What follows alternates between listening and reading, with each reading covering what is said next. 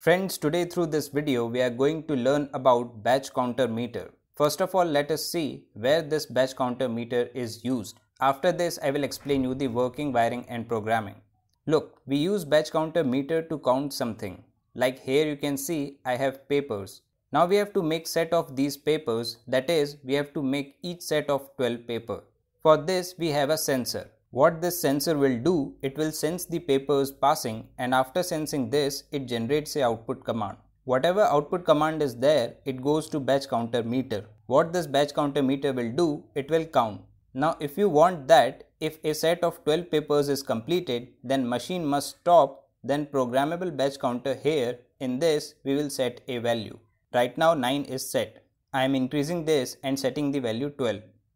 If I set 12 here, then motor or machine will stop for some time when set of 12 papers is completed. So here you have to understand that we use batch counter to count any object and to make set of object. Now batch counter meter I have, before understanding the function of this, first learn some basic things about this. Now as you can see here, in this meter, two display are given. On this upper side, I mean this red colored display here, this is known as present value. PV means present value. Whatever counting is there is displayed over here. After this, this green colored display here is known as set value. SV means set value. Now whatever setting we will do here like in present condition, here set value is 1.2. If 1.2 is counted here, then relay will generate output command. Now as I told you, we have to do programming here. For programming, you will get three buttons here. First button is for up, second is for down. It means to change value, you have to use up and down buttons. After this you will get a mode button also. Through mode button you can go to programming and whatever programming you can do to save this you have to use this same button.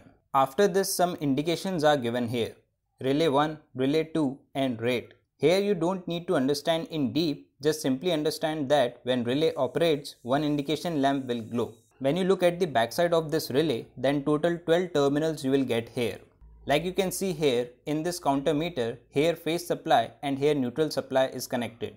It means display of this meter here. If we want to turn on this, then what we have to do at L terminal, we have to connect phase supply and where N is written, we have to connect neutral power supply there.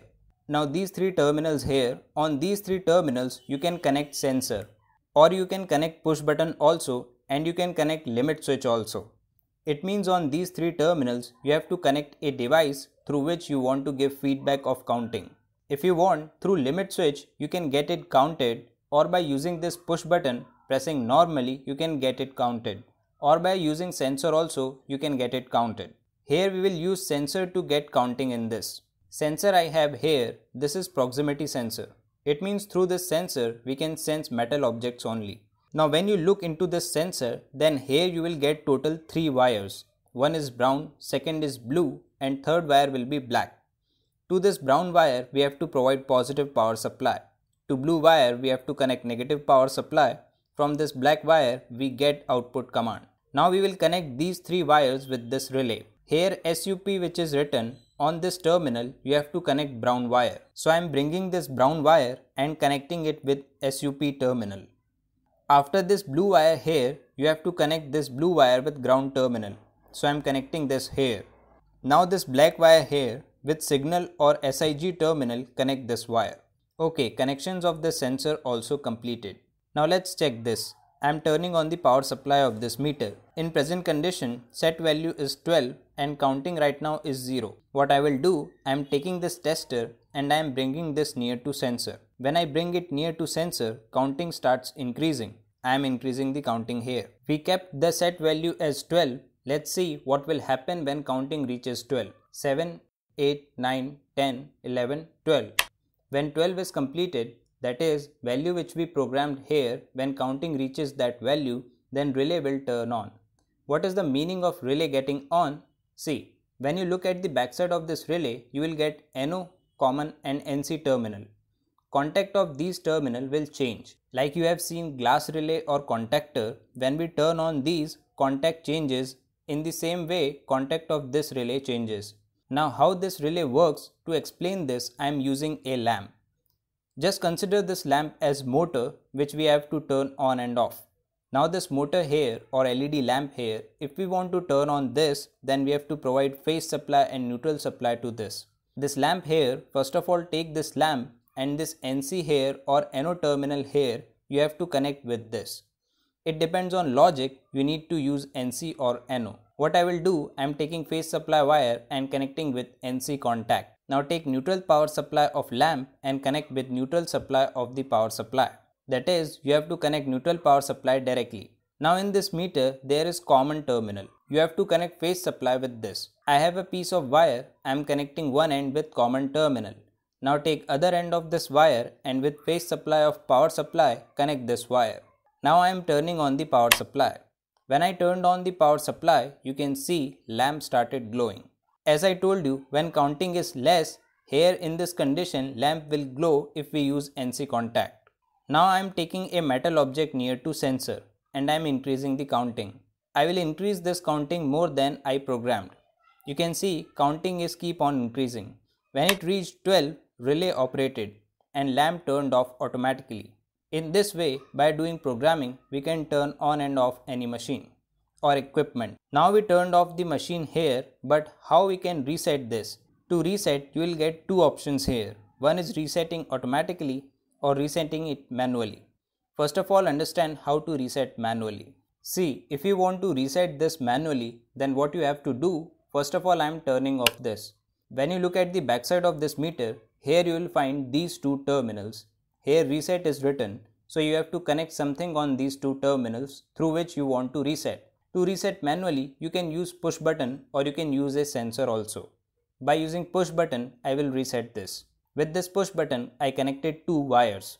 I am taking these two wires and connecting with these two terminals. So I connected reset push button here. Okay then, I am turning on the power supply. Here I turned on the power supply. Right now relay is not operating. Lamp is glowing. Now I am operating the relay. Okay, now relay is operated. Now if you want to reset this, then to reset, you have to press this push button once. When you press this, relay will get reset. Now if you want to reset this automatically, that is, we don't want to press push button, it should get reset automatically after some time. For this, you have to set programming here. So how we do programming of this meter, let's learn this also. In this counter meter, how to do programming, let's understand. If you want to do programming in this counter meter, then for this, what you have to do, press this mode button once. When you press this, set 1 is written here and some value is written here value which is displayed here, it means how much time sensor will sense it and after that it operates the relay. Right now 12 is set here. If we want to change this value, then by using up and down buttons, we can change the value. I changed to 15. Now if I want to save this, then by pressing mode button, we can save this. When object comes 15 times in front of sensor, then counter will generate the output command. Like you can see here, output command is generated. Now let us understand the remaining programming. See, what you have to do, you have to press mode button. Here set 1 is showing. Now you have to press this again. When you press this again, you will find LOC is written here. LOC means lock. It means you have to enter password here. Password of this is 127. So I will enter 127 here. After entering password, press the mode button. When you press this, you will see dt-d is written here. It means this dot here, this point, like you can see here, this point here, to change position of this, you can do programming in this. You can put this point wherever you want to. After this again you have to press this mode button. When you press this, here you will find cn-d is written. What does this cn-d mean? Let's understand. See, meaning of this Cn hyphen D is this relay here, even after operation of relay, if we want to increase count, for example, see here, right now 15 is set, I'm increasing this, here it goes 15, just now relay operated. Now if any object comes near to sensor and we want to count that, then we have to set in this. That is, through this Cn hyphen D, we can do the counting in this. If you want to continue counting even when relay is operated, then in this condition you have to select Cn-E. To select E, press up button. Now E is shown here. E means enable and D means disable. If you save E here, then your sensor will still count. And if you select D here, your sensor will stop counting when your relay is operated. Okay, so I am keeping this enabled. And to save this, press this mode button. Data we selected is saved. After this, you can see something written here. This means multiplication. That is, sensor here, when object comes in front of sensor, then on sensing object once, how much it should be counted, this setting we do through this. See, right now it is 1. I am changing this to 5. So I am making this as 5. Now I am saving this.